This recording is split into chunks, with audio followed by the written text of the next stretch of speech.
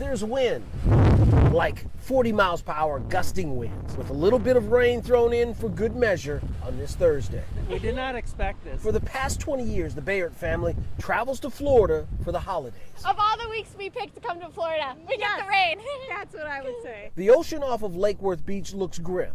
Heavy waves making way for dangerous rip currents and the possibility of beach erosion.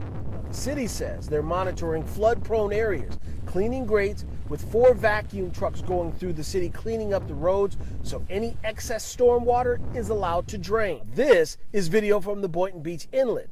Up and down the coast, there are gnarly waves to be seen with wind gusts up to 40 miles per hour. In Boca Raton, Public Works is hitting hotspots looking to prevent any potential flooding ahead of even more rain this weekend. Folks like Liza Skiar are keeping a close watch on what the weather brings. Flooding down here, flooding for sure. But it happens. Our weather's crazy, you know. It's the end of hurricane season. What are you going to do?